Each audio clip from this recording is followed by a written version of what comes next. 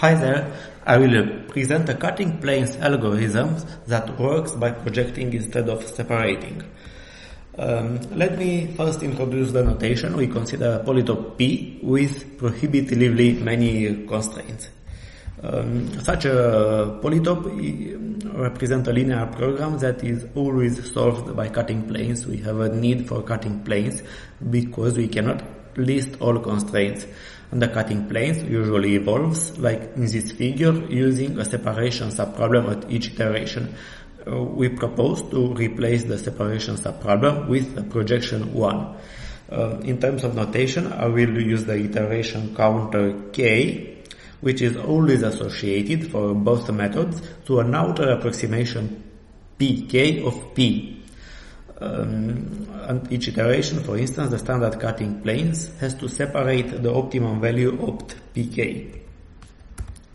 Let me introduce the projection subproblem. Given an interior point x and the direction d, we need to move along d, to move from x along d until um, we reach the maximum step length t star such that x plus t star d is still inside P. This is the main building block for the new method. It will, the new method will generate a convergent sequence of inner solution, inner solutions, and at the same time, using the uh, standard cutting planes behavior, it will generate uh, a sequence of outer solutions. Anyway, at each iteration k, the projection from xk to towards dk generates a contact point and the first hit facet. Um, this is how uh, things may happen, for instance, at iteration k equals 3. If we have this, if the polytope P is still unknown, the projection subproblem needs to return this constraint in red and also uh, the contact point, the small red circle. This is how it works. Uh, let me first the general let me first introduce the general dynamics of the algorithm before discussing of how to solve the projection subproblem. Let's imagine we are in a space uh, with two dimensions for simplicity. At the very first iteration, we only need a feasible point x1. Here, 0 is feasible. This is often the case. And the first projection direction, d1, will take the value of the objective function. Why? Because by because by by advancing along uh, this d1 we advanced along the direction that has the fastest rate of objective function improvement uh, we improve the objective function at the highest rate let's imagine that the uh, projection subproblem return returns this facet and this contact point. Already from the very first iteration we have an inner feasible solution, the red disk, the, red, the small red circle, and an outer solution denoted on the right part, opt P1. The goal of the new method will be to get these two solutions closer and closer. So what can happen? At the second iteration, we will choose some feasible solution, some certified feasible solution, this needs to be a point linking somewhere between x1 and uh, the red, the small red uh, circle. Uh, all this projected segment contains feasible solution and such a feasible solution will be projected towards the outer solution to see why are they so far away let's say, put it this way. And this is what happens. We project x2 towards opt p, p1 and this will give a new contact point and also a new outer approximation of the initial polytope p uh, and opt p2 is the upper blue circle the glass contact point is the lower blue circle. You notice already the distance between them is much smaller than the distance uh, between uh, x2 and opt p1. And uh, then the, the, third iteration can go like that. We take a new inner solution, the, uh, the small red square, that project that is projected towards opt p2. We obtain a new contact point, a new outer solution, they, they get closer and closer, and at the, the, the last iteration in green, the uh, projection algorithm can certify that opt P3 is optimal, and uh, actually the contact point uh, becomes is becomes equal to the outer approximation solution, to the optimal solution opt P3 of the outer approximation. So we the method converge. You may notice that this method is convergent because it solves a separation subproblem on opt pk at each iteration. Uh, this way actually the convergence proof takes two line. This is cool. Um, but this is not, this is no accident. This is not happenstance. Building on existing work, the method, the new method was deliberately designed to be more general and when possible simpler. Um, I think many many people um, would prefer to show longer proofs when possible, because this way they can show they are clever and smart. But I think the, the, the great difficulty is to design a stronger method for each new paper, and when possible, simpler. This is my idea. And may I say that another difference compared to existing work is that um, in this new, new work, new, new, new work, I, I was able to project for the first time strictly interior points. In previous work, I was always projecting from zero. Notice, please, that the trajectory of the inner points, the, um, the black curve represent the trajectory of the inner points along the iteration. Okay, so in this, from this, in this sense, the, the, the proposed method behaves a bit like an interior point algorithm. This is the strength, strength of the new method, the existence of these inner solutions, because the outer solutions already exist in cutting planes in, in a maximization problem, the inner solution provide lower bounds. Why? The outer solutions, opt P1, opt P2, opt P3 provides, uh, provide upper bounds, like in a standard cutting planes. So everything was a bit like in a movie until here. So I wanted to show the general idea and now let's move to the real life. So one of the main difficulty is to solve this projection subproblem. Imagine we have such a linear program, we maximize b dot product x under uh, the condition that for any constraint defined by coefficients a on the right hand side ca, we have a dot product x less than uh, or equal to ca. The separation subproblem on uh, on some x is solved uh, by uh, finding the optimal solution of this problem. We need to minimize this over all constraints. The projection subproblem is a bit different. We need to project from some x, feasible x towards some d. So what do we need to find? We need to find the maximum t star such that the blue guy plus t star times the red guy is less than or equal to Ca for whatever constraint there may be. Okay, we may take a look at this.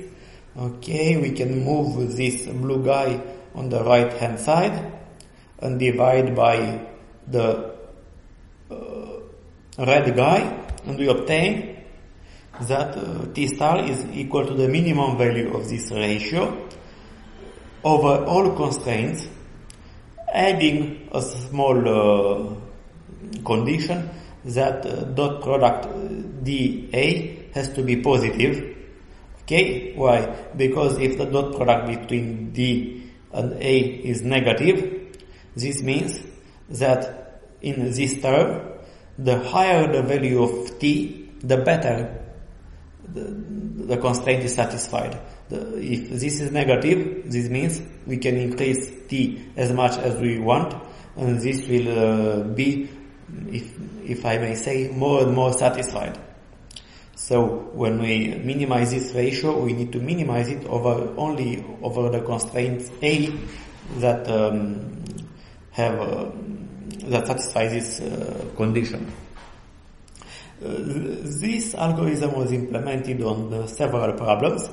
Uh, I may refer you to a paper called the projective cutting planes uh, in SIAM Journal of Optimization and, or on a paper called Further Experiments and Insights in projective, on projective cutting planes. Um, but for today I will discuss the um, column generation model for graph coloring, the fourth uh, section. Um, for this, uh, we will focus on the dual model in uh, graph coloring column generation.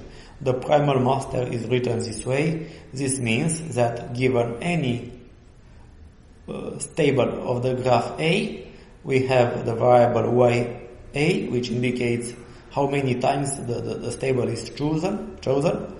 And we ask with this constraint that with point, for whatever vertex i, we need that the number of times the vertex is covered is greater or uh, greater than or equal to bi. bi is usually, usually 1. So the dual LP linear program will be written this way. We maximize, we actually maximize the dot product between the vector of all ones and x under this constraint, which basically says that dot product ax less than or equal to 1 because CA is 1 because each color counts once. Okay, we, let me rewrite the dual um, column generation model of the graph coloring problem this way. I only used the, the same notation as in the previous slide. So this is nothing new, but I wrote it uh, this way. And the projection subproblem on X projected towards B can be found by minimizing this. Here I use the, the, the, the same ratio that appeared, that I displayed three slides ago when I first discussed in a very general sense the projection subproblem. We need to minimize this ratio over the set of stables that uh, do satisfy this small condition. Here I, I, call STAB the stable set polytope Uh, described by these two inequalities.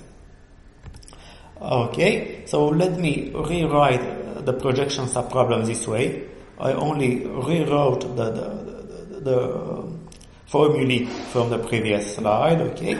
It may be, it may look as a quite difficult problem because we have a ratio Okay, we have um, binary constraints. We have a strange uh, constraint uh, strictly greater than zero. But actually this can be um, solved by applying a discrete version of a well-known transformation called the Charnes-Cooper transformation that is well known in the field of linear fractional programming. I mean, this transformation is usually used to minimize a ratio of a set of linear constraints without discontinuities.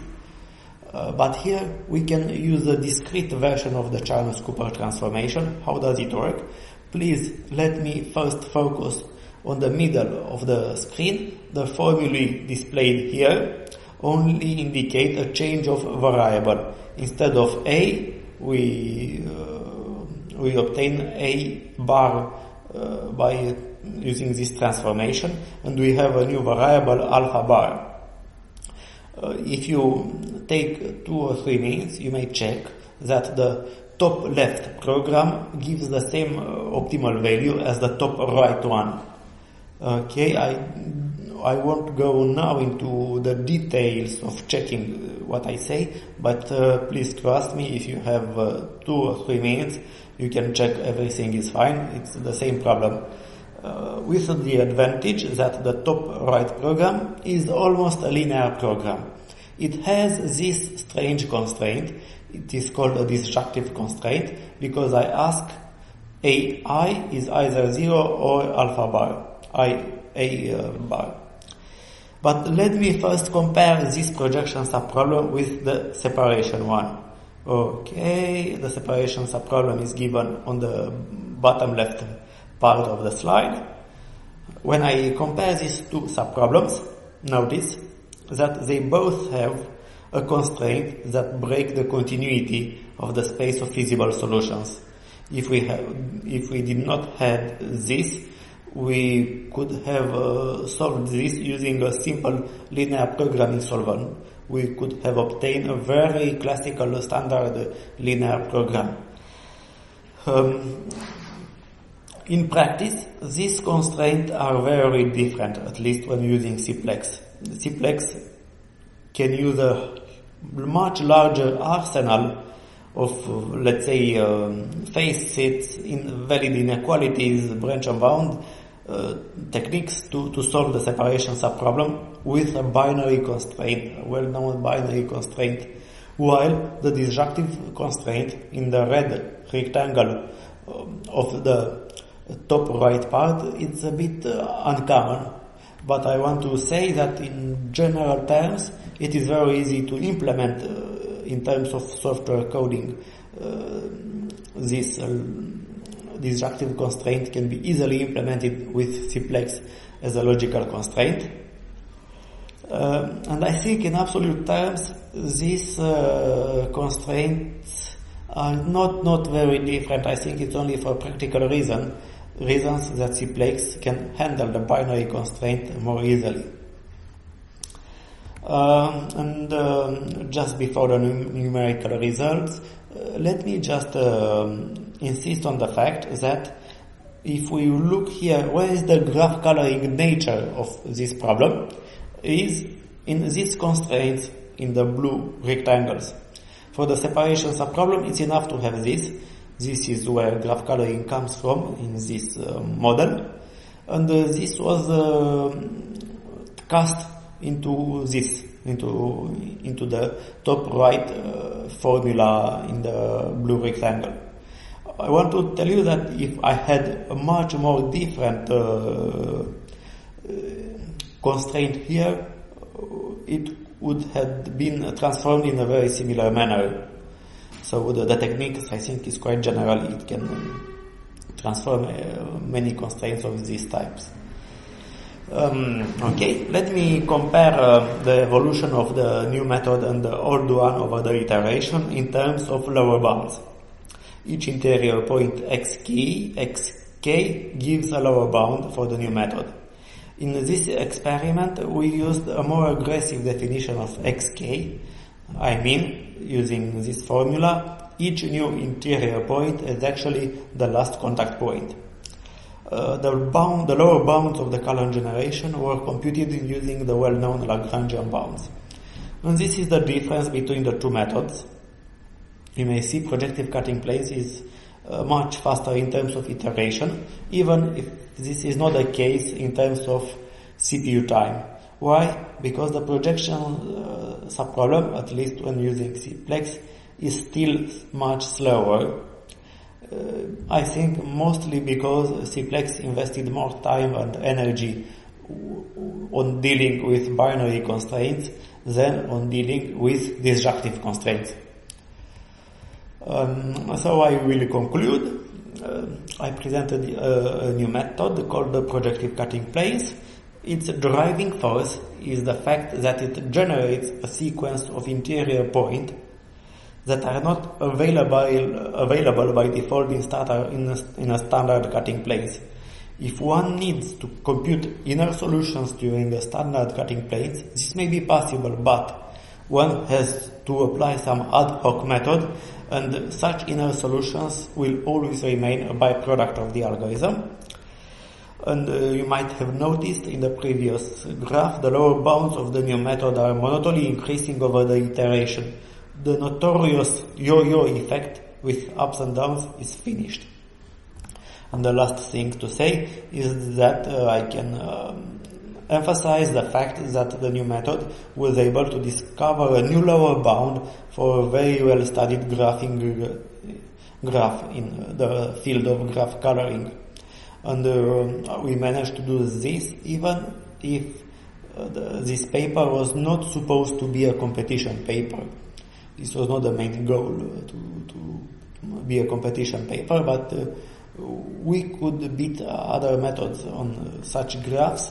Why? Because this graph, graph is quite huge, and neither the standard cutting planes nor the new method uh, could uh, finish solving the associated column generation model. So we needed to stop both methods after a certain amount of time. But the Lagrangian bound in column generation are quite weak, while the new lower bounds discovered using these interior points are much stronger. And regarding all the other experiments uh, per- we performed on different problems, we may say that on the robust, on the robust optimization problem, the proposed method is uh, not only faster in terms of iterations, like in graph coloring, but it's also faster in CPU time, uh, mostly because the projection subproblem in robust optimization is uh, easier in terms of computation speed. Thanks for watching.